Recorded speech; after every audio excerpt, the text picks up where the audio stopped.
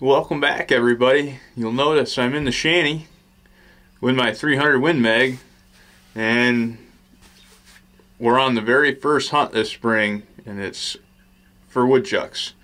I've had some cell cams up here and getting a ridiculous amount of woodchucks on them so I figured I'd come up here tonight and see if I couldn't spot one or two. Actually when I got up here there was one that ran in right over here in the corner so if I sit here a little while we might be in business. That bugger might come back out.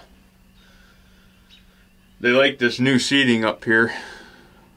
We're going to want to make sure they realize that this really ain't a good place to be when Cliff comes sneaking up with this 300 Win Mag.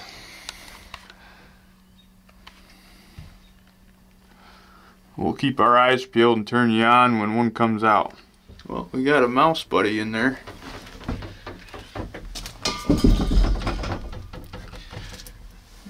where it went. There it is. Oh, there's two of them. Well, there's a woodchuck that just got out on a pile of rocks over here, so we're going to go ahead and load the 300 Win Mag up. This is 168 grain Sierra match tip.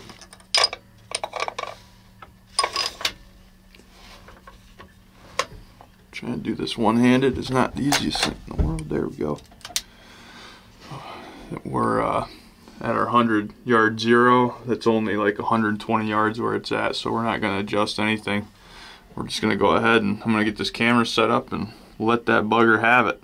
That's going to be the first one of the year. He's in trouble. This mouse over here is just shivering.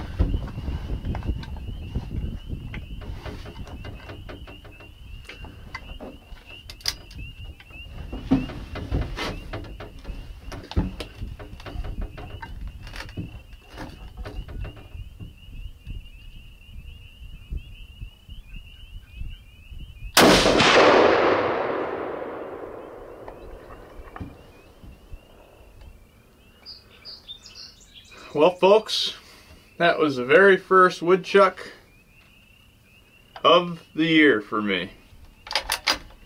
300 Win Mag equals flying chuck. There's more where that one came from. Yeah, more to more to shoot.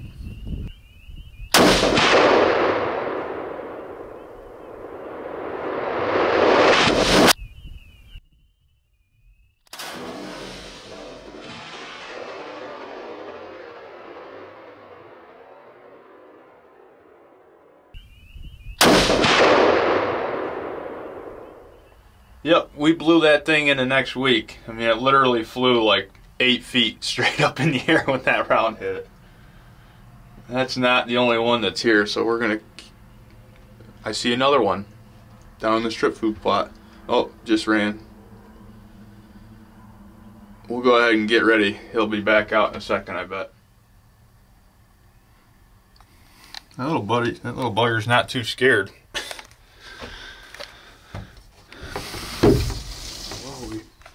Got another one out over here. Right there. We'll get this camera set up over here. That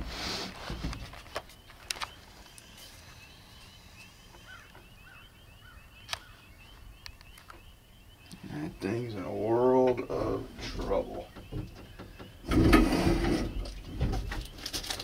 set up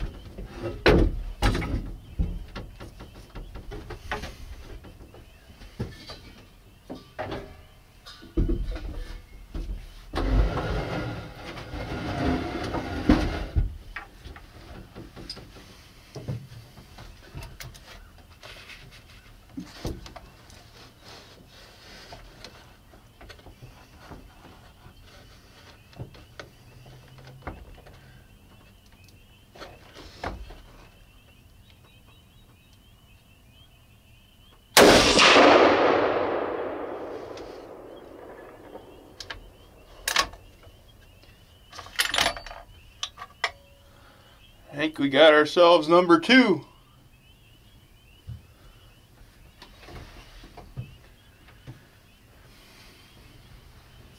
That one was about 140 yards. We'll sit tight and see what else comes out.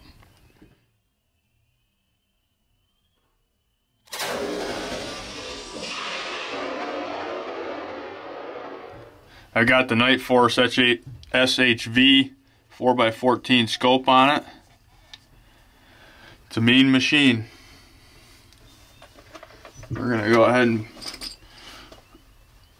put another missile in here.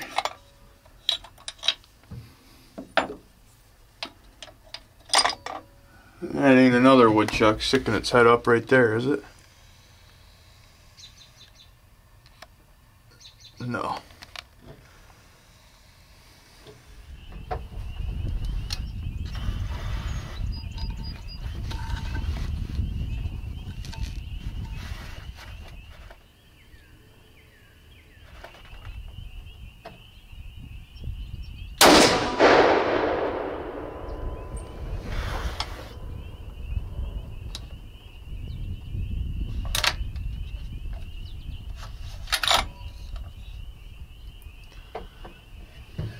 Well, I, I missed that one. I had to hang it up. That was only like 50 yards away, but I don't see it laying there unless it just exploded.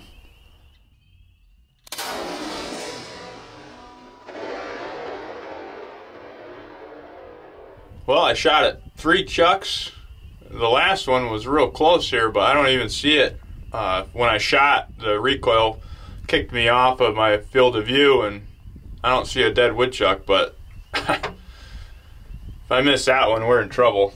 Uh, I know I got these other two, so let's go check the other two out. That first one on the rock was kind of cool. I held low on purpose, so you know if I hit a little bit low, it would launch it up in the air, or maybe even hit the rock underneath it, and the ricochet of the round would go right up into the woodchuck. So I don't know if that's uh, what happened, but that freaking woodchuck flew. Holy crap!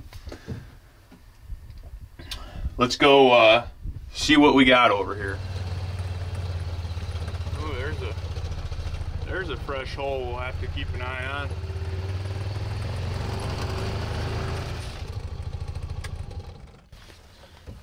Well, right here is where that woodchuck was. I was up in the shanty, and it was sitting right on this rock. And I didn't hit the rock, I hit strictly woodchuck. I see there's blood all over the rock. Piece of shrapnel from the round hit right there. That round just obviously rapidly expanded when it hit the groundhog and blew hair and blood everywhere. Look at all the splatter. There's blood and stuff everywhere. And the woodchuck is laying right over here, but I got to be extremely careful with YouTube and and this stuff. YouTube uh, cracked down on me pretty hard with the blood and gore and guns and stuff. Believe it or not, YouTube doesn't like guns or me or pretty much anything I do. So uh, you can use your imagination, but this woodchuck does not look too hot after that 300 Win Mag ripped through it. 168 grain Sierra match tip. It's actually a big woodchuck for early in the spring like this. Hmm. It flew about eight feet, literally eight feet. a lot of energy going into them. Well, there's the first one. The next one's down the field a little bit. Let's go see what the aftermath of that looks like. Well, just roll up on the second one. And that one's very dead as well. Hammered it. Blew uh, pieces of it all over the place as you guys can imagine. Had a big giant hole right here on the edge of the field. That's a good one to get rid of. Look at the size of that hole right there. Actually, look at all the blood and there's a piece of that woodchuck kind of everywhere here.